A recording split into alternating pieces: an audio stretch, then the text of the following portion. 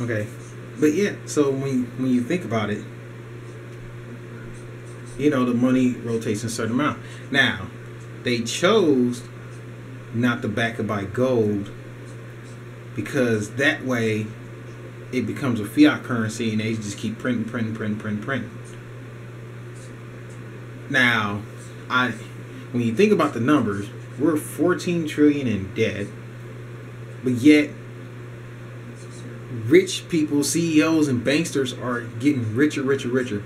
So if we're in debt, how the fuck they keep getting richer, but we keep getting poor? Oh, but then they turned around, and I think it was one of the government officials that turned around and said that each American would end up owing like sixty-four thousand dollars a piece in order to fix the actual budget. Why it gotta be us? We work hard, we pay our taxes, well most of us do. We work hard, we pay our taxes. We buy, therefore, you know, buy into the economy, keep the economy going. But then when we start being stingy with our money because we see that we can't afford to keep spending our money, then they come up with some other way to keep us from getting less money by coming up with several laws that actually increase the tax or increase what you pay the government, also decreased your check. Another thing I don't get is if I'm a CEO of a company, okay, and I'm making like a billion dollars, right? And I make some business decisions that weren't smart. What's the first thing I would do as a CEO? I would cut my own rate of pay and those higher up by a certain amount. Why would I mess with the people at the bottom? Why do I mess with the people who drive the trucks? Why would I mess with the people who put the product out on the shelves? Why do I mess with the people who break down the product? Why would I mess with the people who make the product? To me, that doesn't make any sense. What makes sense is that me as a CEO should take responsibility for my actions that I did with the company and decrease my own pay in order to make up for it, in order to balance it out. Therefore, allowing them people to still be able to work, you know, work hard and keep, you know, stuff like that. And pe- and then you get most people who say, "Oh well, it's not really that easy." Yeah, it's not easy to get off greed. You're right. It's not easy to stop being greedy. But instead of us doing that, CEOs turn around and take bonuses when they lose money. And so do banks and stuff like that. And then turn around and would demote your pay and demote your hours and probably even fire you. Oh, we gotta let some people go. Okay, you gotta let me go and bust my ass. I got a family to feed, but you don't give a fuck about that. But what you do give a fuck is that you have enough money in your pocket to go buy you another Ferrari. But see, businesses don't understand. We're the reason why you make money. You're not the reason why you make money. Be smart. You're not the reason why you make money. We're the ones who have the customer buy your product. Without us, you don't have a business. I love when corporations be like, oh, I built this, I built. No, you didn't. The consumers did. Because, put it like this if I was open up an Italian restaurant with some money I borrowed, because you you know how them people who be like, oh, I built my business. Most of them get millions of dollars loaned to them by some rich family member. They don't work hard and save that money up and they open their own business. No, they borrow that money from somebody. Or they borrow from one of their friends, you know, they grew up, you know, they went to, you know, Skull and Bones with, whatever. Sometimes, you know, whatever that is. But they borrow that money. And then they can pay back when they want to. They don't work hard, work several years, save that money up, and then take that money to buy their own business. Most CEOs don't do that because the ones who do do that, they no longer have a job anymore. Why? Because the big corporations is pushing them out because they don't want the competition. Because they know with competition, people will be more likely to go there. But then when you think about it, it's not all the CEO's fault. It's our fault as consumers. Here's the thing. You get a Walmart. You got all these small businesses. Walmart super lowers their prices. What do we do? Instead of remaining loyal to these businesses that have good quality goods and services, we go, oh, that's cheaper. I can put more money in my pocket. That's a natural thing for people to do. I'm not saying you're wrong for doing it, but that's a natural thing for people to do. But then when you do that, you realize that all these small businesses, they're losing. Then when they close and shut down, guess what Walmart does? It jacks back up their prices. Then you're sitting up there complaining, talking about, oh, well, that's not fair. That's not right. They're all expensive, this and that. You should have stuck with the other guy. I know it's hard to do, but that's what you should have done. I'd be better off going to a bread house and shop and getting fresh bread than going to get some cheap bread at Walmart and then find out it's stale because they decided to put out some old product, which actually happens a lot. I've seen that firsthand. Some places will put out old product. Oh, we don't want to waste any money. You make you already waste money. You know how much food Walmart throws away? In meat department, I done seen where they put some idiot in charge of the meat department and he sit up there and we were throwing away five thousand dollars a day in meat. F- f- I kid you not, five thousand dollars. Now, how can you justify throwing away five thousand dollars worth of food? You can't. But you know how you don't have to throw away that food? If you lower the price on your food but sell more units, not only are you still making about the same amount of money, you know what I'm saying? But you're not throwing away as much food. But then I also heard from another manager that Walmart gets paid for throwing away food. So you'd rather throw away food than to make sure that the consumer gets it. Does that make sense? That's how CEOs think. I understand you got to impress your investors and stuff like that, but you don't fuck people over to impress your investors. And since when did impress your investors have to do with you making sacrifices on that level? If your investor can't understand how businesses run, why the fuck do, why the fuck would they invest in the first place? I mean, it's not that simple as I said it, but I'm just you know giving like a generalization of it. It's like I will be better off as a CEO giving you quality goods and make sure I don't waste anything than for me to sit there and close the. I, to me, competition works. Think about it. If I had my big business in the middle and I have 10 other companies competing with me, I would rather have that and still make over 200 million annually than have all these businesses closed down, have everybody working for me, and then I'm making billions and billions of dollars. Because the thing is, I'm going to actually end up losing money in the long run because now I got to find somebody else to compete with that's outside my area in order to bring money in.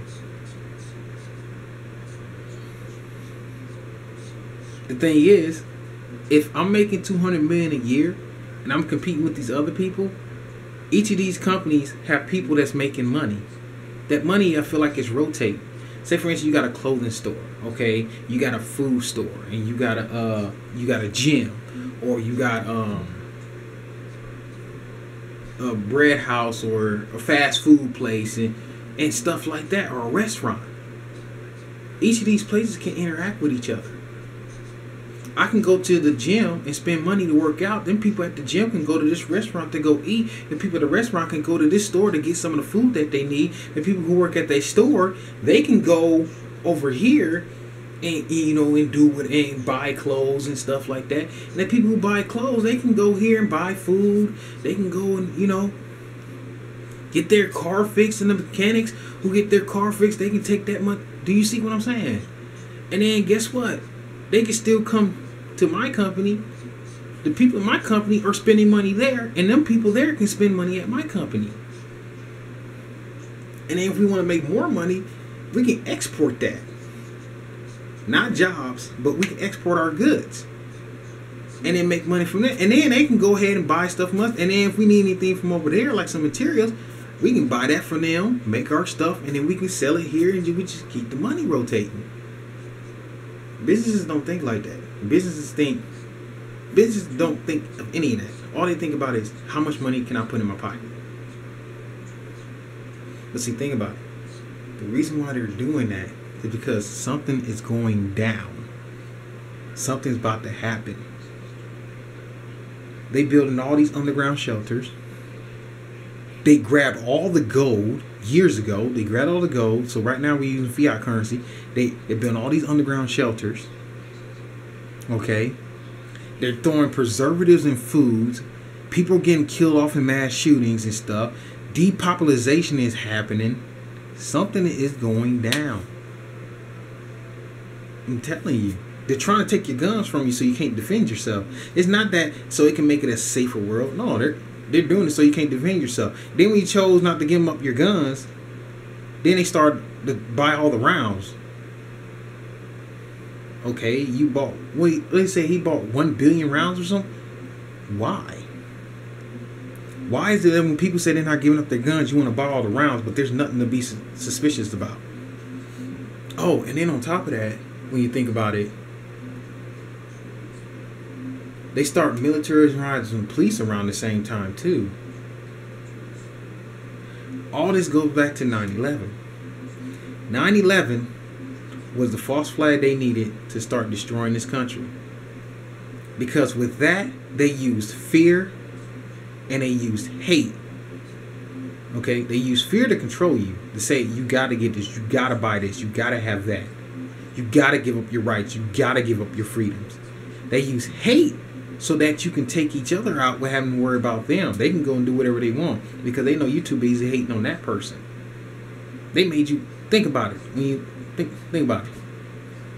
When black people do something, they make you judge the whole entire race. When Hispanics do something, they make you judge the whole entire race. When a few Muslims do something, they make you judge the whole entire race and religion. But when white people do something, what happens? Nothing. Don't nobody judge white people on a massive level. They don't. People just recently start opening their eyes. You know what I'm saying? The thing is, the government knows what's coming. They got something planned. They know something good not happening this way. And so that's the reason why they're trying to take all your, your guns and your weapons and all that type of stuff from you because they know something big is going down. And they're trying to make sure you're not protected from it. Now they got to a point where they making you get the chip, uh, the card with the chip on it. Oh, it's more secure. If it's more secure, why are you making me get it? Shouldn't that be a choice? Shouldn't it be a choice whether I want to go left or right? I shouldn't be made to go in either direction. That's not protecting me. Taking away my freedom is not protecting me. Taking away my freedom is actually enslaving me. That's not protection. And like, uh, there's a speech that Kennedy made a long time ago. Uh, when he was in office. I think it was in like 1961, 1962. He basically said that we should be able to have freedom and peace. We can. But every time there's peace, the government steps in throw their little two cent in there, and they create chaos and then tell us, hey, you can't govern yourselves. Let us control you. Think about it. All these countries around the world was peaceful by themselves. But because of propaganda and because of lies and stuff like that, they make it seem like that these countries were cannibals and murderers and all this type of stuff. But that stuff didn't happen until the U.S. government got involved. Those countries wasn't originally like that any place, no place is perfect. Places gonna have this country has problems. So why are we spending billions of dollars helping out other countries when we can't even help our own country?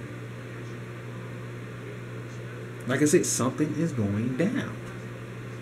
For CEOs to sit up there and make sure you have no money in your pocket and make sure they got all the money. It's like they're trying to get ready to create a new currency that only rich people. It's like think about it. It's like I have this currency that works for everybody.